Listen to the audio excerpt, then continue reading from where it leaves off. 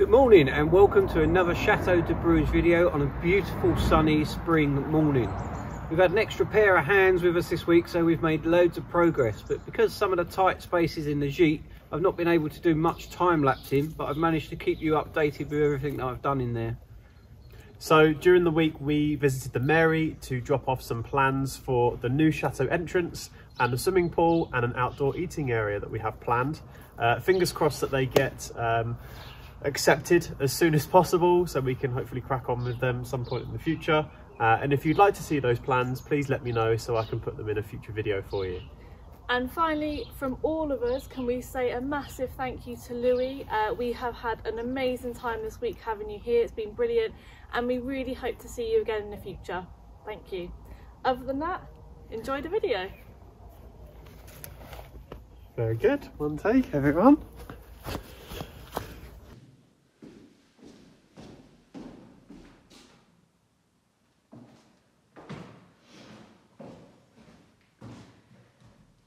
So the next job, why is it?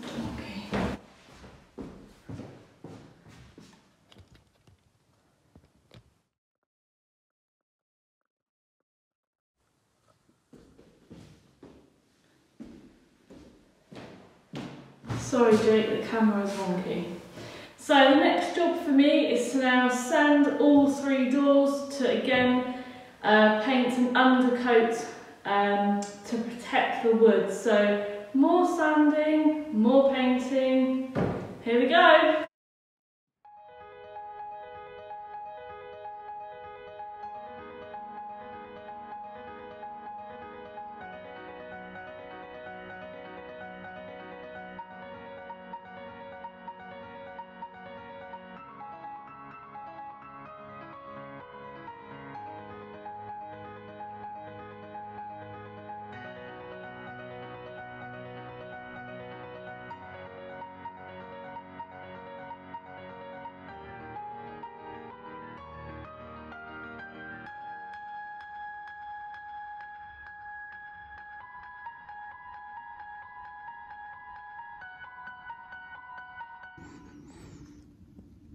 So that's a mammoth three doors, sanded, caught some of the edges and the cracks, and then finally uh, stripped of paint on the metalwork. So me and Jake are very, very tired after all of that.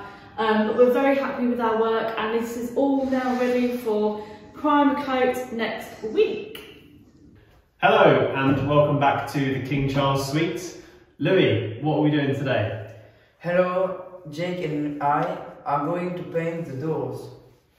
These are the ones that myself and Danielle sanded and prepped last week. So as Louis said, they're ready for a coat of primer. So that's what we're going to do this morning. While these two are painting the doors, I have got my liquid masking tape that I'm going to put on the windows so they are also ready for more painting, guys. Superb. Going to be lots of painting this week. Let's go. Alright. Well done. Good.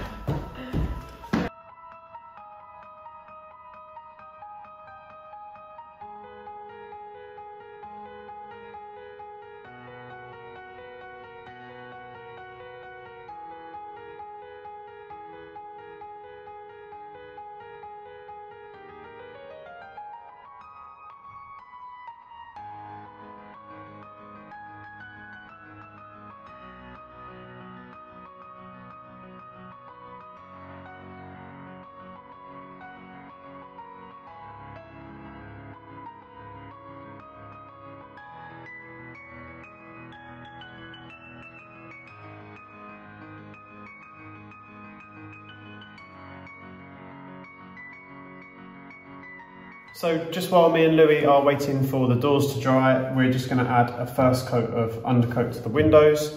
Um, but I'm going to make sure I masking tape all the hinges first to protect all of the hours of hard work that's already been done. So just trying my best to get the tape in as close as I can.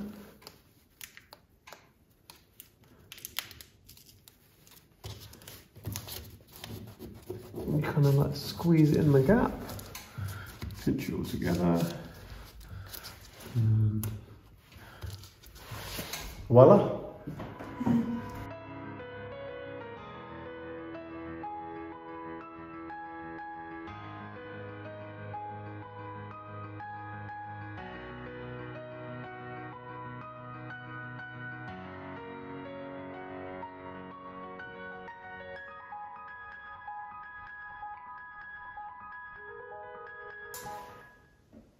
I'm tired, I'm thirsty, I'm hungry, but it's a good day.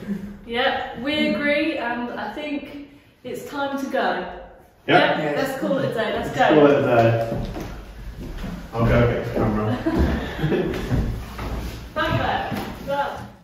So for the rest of the afternoon on Monday and quite a lot of today, Tuesday, we have been painting, uh, but we thought you'd seen more than enough of that, so we haven't bored you with anything else. Bless you, Merlin. Um, so what we've done, bless you again, um, that we've gone out today and we have bought some wood uh, that Danielle would like to create a picture rail with. Um, so you may be able to make out, you may not, that there is a laser coming around the room um, that is marking where we want the picture rail. I'll tell you more about the laser in a minute. Um, but we're just going to show you what it is that we're going to do with the picture rails. Now, if these bits of wood are 2 metres 40 each, and our wall is just over 5 metres, so if we were to put one bit of wood right into the corner on either side, you can see that we would have only 20 centimetres or so to fill, and it would mean that we would have two cuts right next to each other. So we have instead decided on each wall to place one piece of wood in the middle of the wall and then have our cuts either side so that they're even um, and therefore they don't draw your eye too much to where the cuts are. That makes sense? Yeah. Superb. Thanks, Louis. Oh, that looks so dirty. Put it on my. Show me. Ken told off again,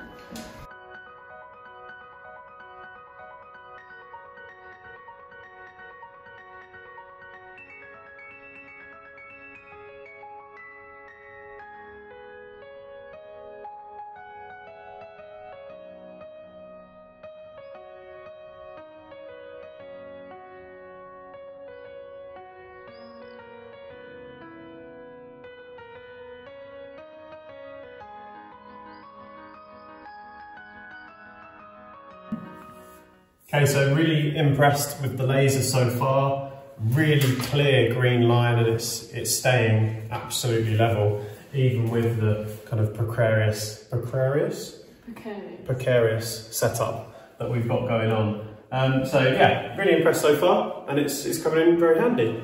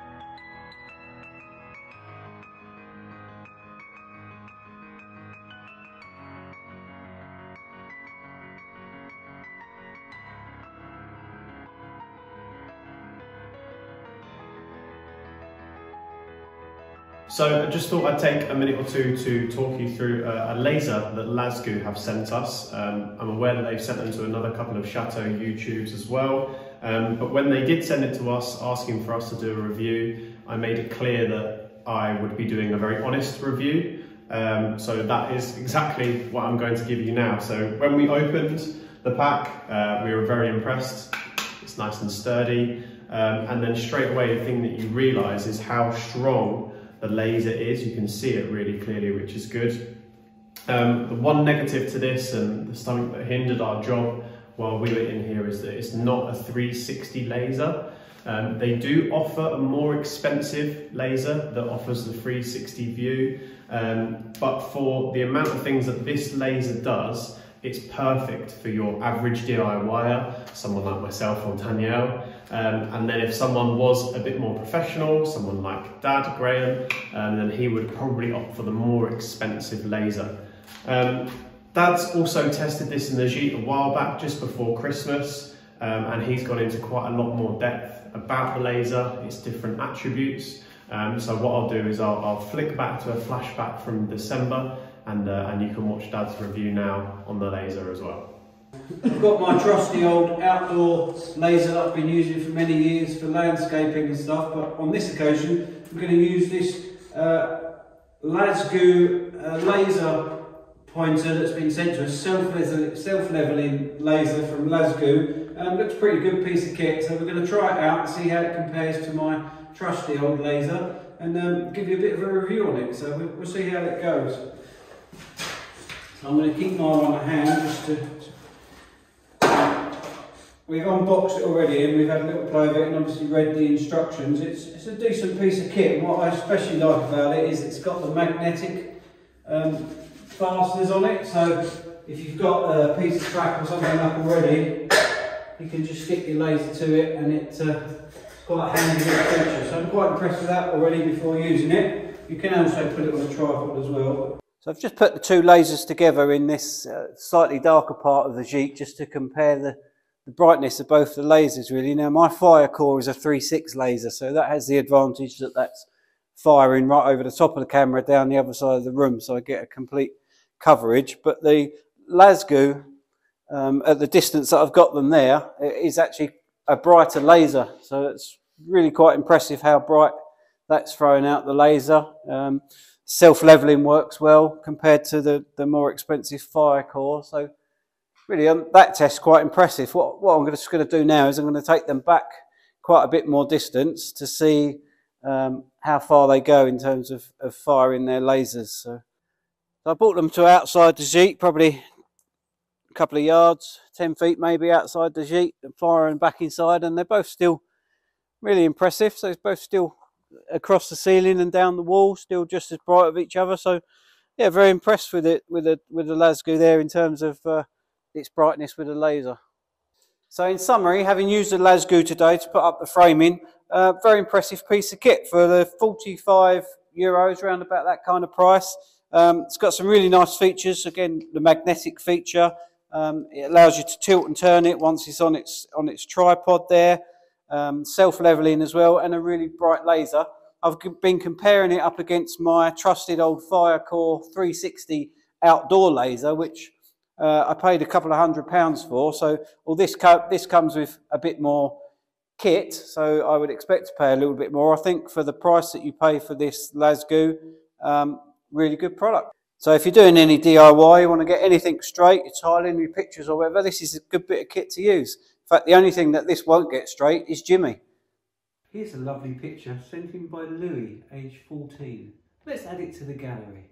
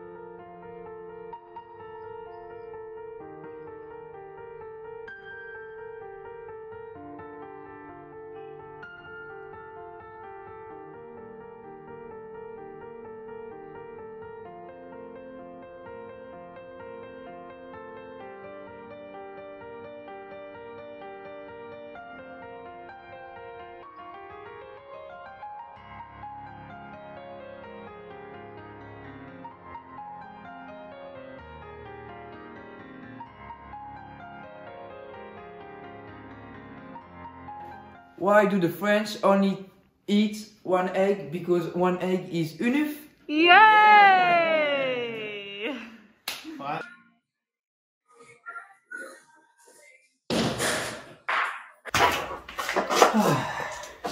so after spending the last four hours, three hours, whatever, trying to get through a 800 millimeter thick wall to get a water pipe through, I've, uh, I've had to abandon that idea. I just can't, I haven't got a drill bit long enough and I just can't knock through the wall and I've dug out so much wall that I'm worried the whole thing's going to fall down now. So I was just about to give up and, and have a night of thinking about it when I noticed that over by my original water pipe there was a, a waste pipe going out the wall which comes out the wall on the other side into a, quite a nice enclosed trough. So I've dug that out, um, I've cut off the angles so it's just the pipe going through the wall and I've managed to feed the old bit of piece of water pipe through. So I now have a water pipe running through the wall to an area on the other side of this wall where I can nicely connect up a stopcock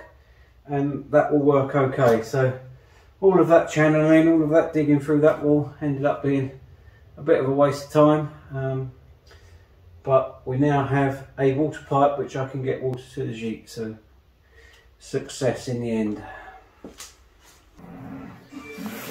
Good morning everyone, welcome back to the gite. Thought I'd give you a quick update of uh, where I've got to yesterday and the work that I've been completing. So you can see behind me here that I've been working on the toilet area and I've managed to get the uh, walls in at the back of the toilet there and got that partitioned off and the insulation in so I'll be carrying on with that this morning. Just got one more piece of board up there and a bit more insulation foam to go in. And then I'm going to be turning my attention to the bathroom area which is here and putting in the final wall um, which runs across just this area across here. So it goes at a bit of an angle around the shower tray here and then comes back across here. So that's going to be my focus today.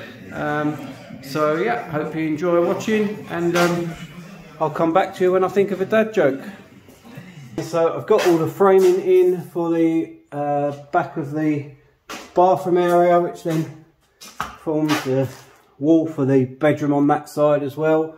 Um, so you see we've got an angle there where the shower tray is going um, down here and then there'll be a shower screen and there's just enough 600 mil gap there for you to walk in and get into your shower.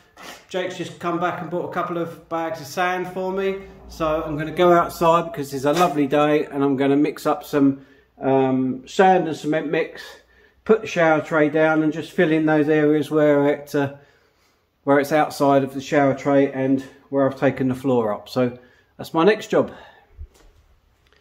So I've concreted in around the areas that needed refilling in around the shower tray so you can now see that shower tray nicely fits in that area that should secure my track that was floating loose a bit there as well so I can now get on and finish off the rest of these walls once that's dried off a bit. Um, also did the part where I've run the waste pipe to the sink uh, which was an afterthought and then also around the bedroom one side of the Gite I've filled in the channel where we dug out the other day in for the water pipe um, so that's filled those in. The um, the whole area is going to need self leveling anyway. When we, once we decide what floor's going down, and probably irrelevant of what floor going down, I'll probably self level out throughout the whole sheet just to give us a nice smooth floor underfoot. But that's filled in the big hole, so that's another job jobbed.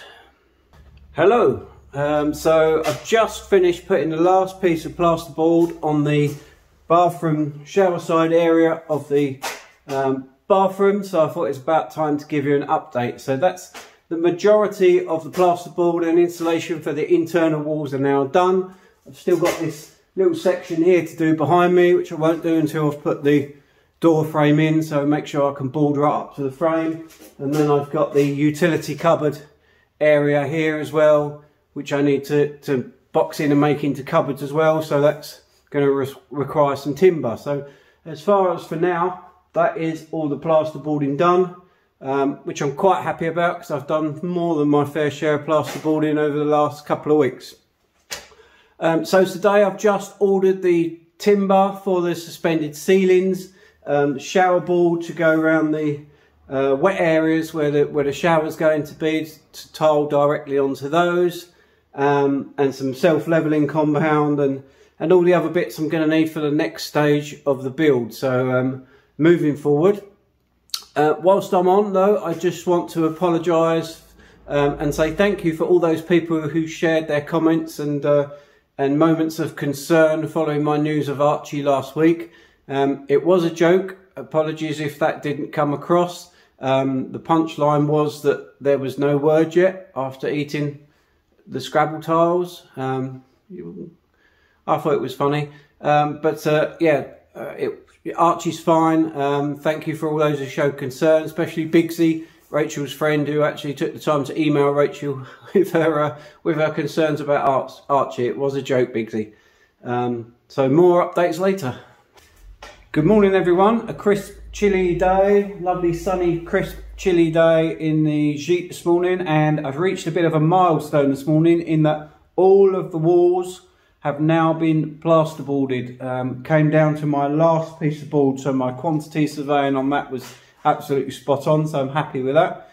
So a big milestone. So today the uh, job for me is to have a really good tidy up, get out any of the materials that I don't need in here, because tomorrow I have a big delivery arriving for the timber for the roofs, all the plasterboard for the roofs, and some other big bits and pieces as well that I'm going to need around the Gite. So it's all moving forward.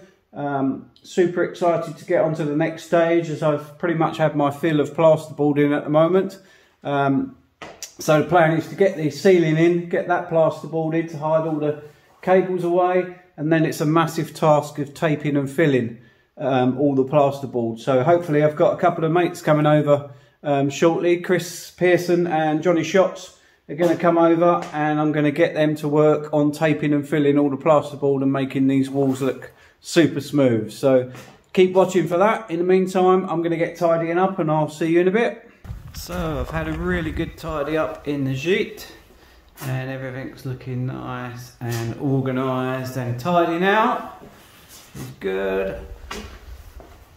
So I can now crack on with something else and I think the next job uh, logical for me to do is continue with the electrical connections that I need to make. So I've got a few areas around here um, where feeds are meeting supplies.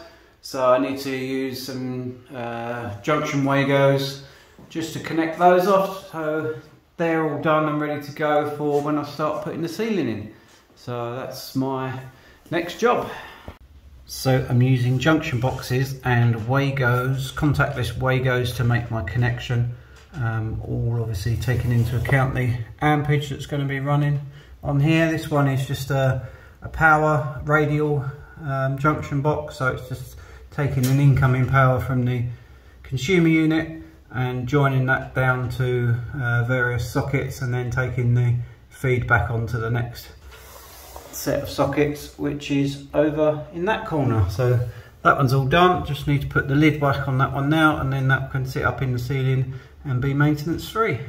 Hello, so good day in the Gite today. After completing the ceiling electrics and all the junction boxes and stuff for the lights and the electric connection outside, uh, I decided to turn my attention to the consumer unit, the door, consumer unit and started to get things in place in there. So I've now got my three phase circuit breakers for all three phases in there. Uh, the plug socket you see is just temporary at the moment to, to power my work light. Um, so tomorrow, uh, depending on what time my delivery gets here, but I'm going to be start to look at my uh, load layout that I did on my laptop the other day and um, start putting in some of the lightings and the electric circuits and bits and pieces because I can always isolate them off here, not make them live at the moment until I've got the sockets and switches and made it all safe at the other end. So it'll be good to get that all wired up and or at least break the back of that so I know where we are. Uh, as I said earlier, tomorrow we've got the delivery turning up of the ceiling timbers, the ceiling plasterboard, the shower board for the around the shower and some other bits and pieces. So that's going to be quite a big delivery. Hopefully that's going to be in nice and early. So I may even tomorrow crack on and start putting the timbers up for the ceiling. So all moving forward. Good day today. It's five o'clock. Time for an aperitif. See you tomorrow.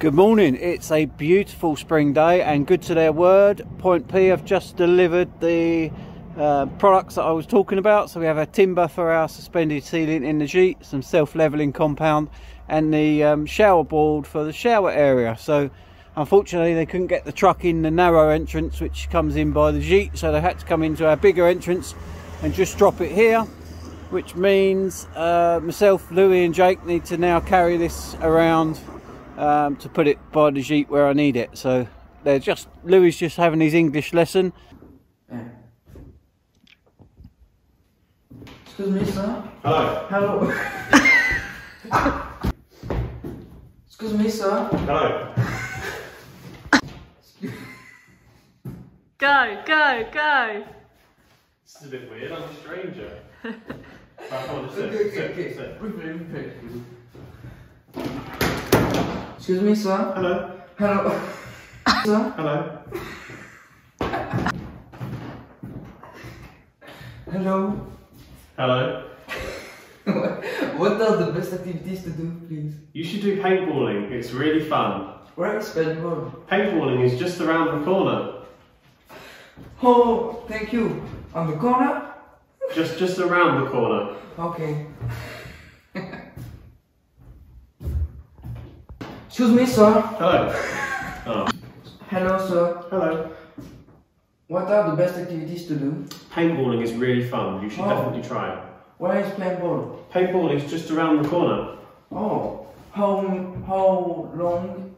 How much does this how How long? how long does these activities to do? I mean, no. Hello, sir. Hello, hello. What are the best activities to do? Uh-huh. Hello. Hello. it's you. I've literally stood there with a straight face. Hello, sir. Hello. What are the best activities to do, please? I would highly recommend paintball. Where is paintball? Paintball is just around the corner. Oh, how how long does these activities to take? no, no. Your turn. Excuse me, sir. Hello. Hello. What are the best activities to do, please? I would highly recommend doing paintball. Where is paintball? Paintball is just around the corner. How long does this activity this activity uh, take? It takes about two hours. Oh, okay. Thank you very much. That's alright. Your English is very good. Thank you.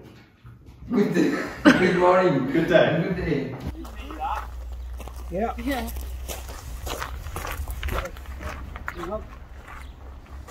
Yeah, got it.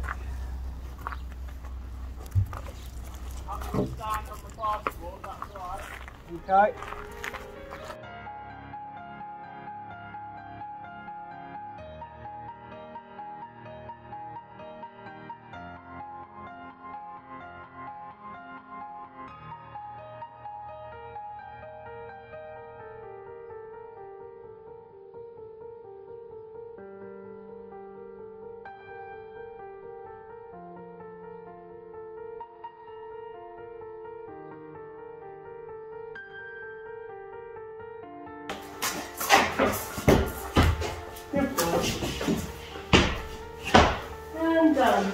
Okay, so the consumer unit is now connected. All the cables from around the Gite are now connected into the consumer unit. Uh, I haven't made any of them live yet because obviously I've still got the first, uh, the second fix to do on the sockets with the plates and things, but it means I can now check continuity and I can um, get everything ready uh, for when I want to go live so I can run my final checks and all should be good. So happy with how that's gone. I think it looks really neat and um, yeah, it's another big job ticked off the list.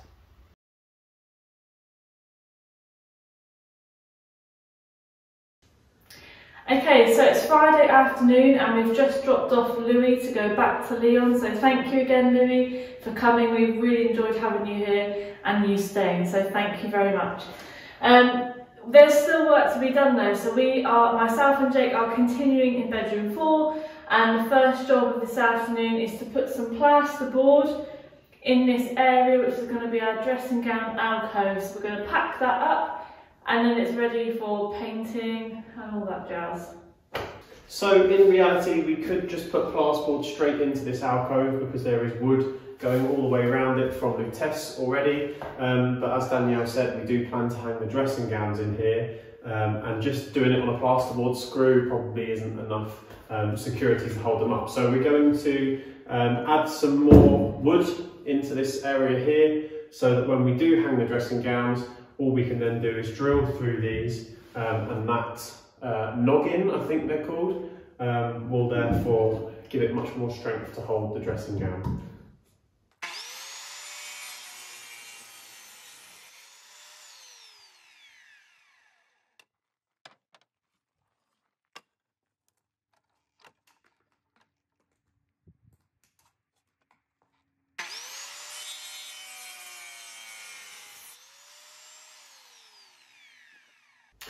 Shout out to Danielle's dad, Ian, for uh, giving me a miniature spirit level years ago.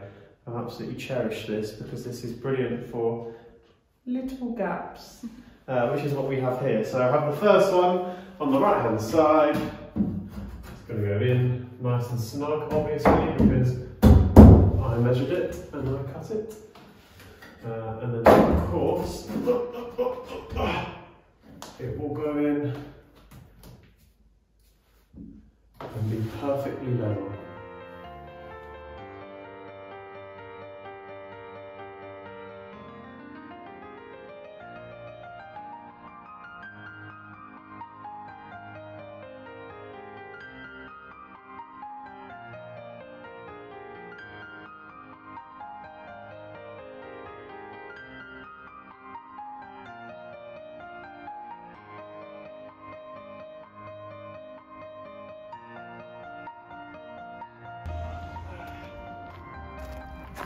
Ah.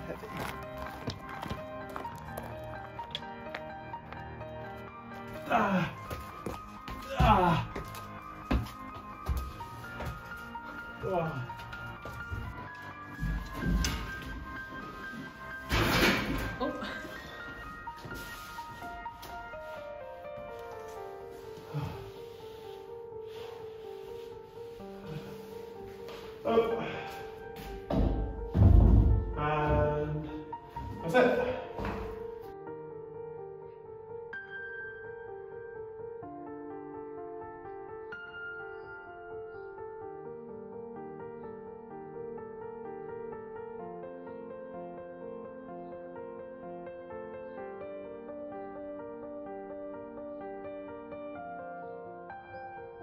So we're not exactly sure when, uh, but my phone did die at some point during that time lapse. Um, so we're not sure if you saw everything, but the plasterboard is now up. Uh, you may or may not have seen that we insulated in between the two sheets of plasterboard.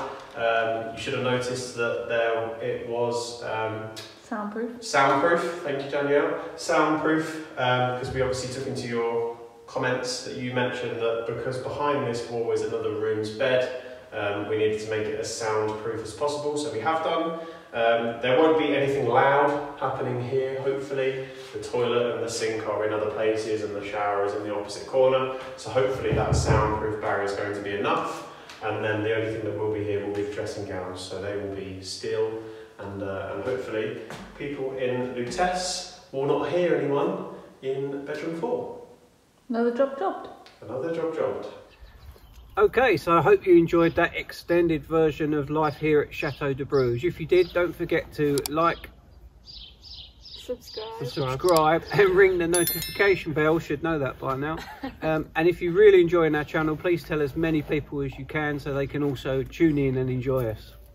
We're going to be really busy with this coming week. We've got some guests coming to stay with us at the chateau, um, but hopefully we're going to stay busy with the renovation in our downtime as well. And we seem to be very popular on the hosting student front. So we have another student at the end of February, which we're very excited about. Mm-hmm. Until next time. Bye. See ya.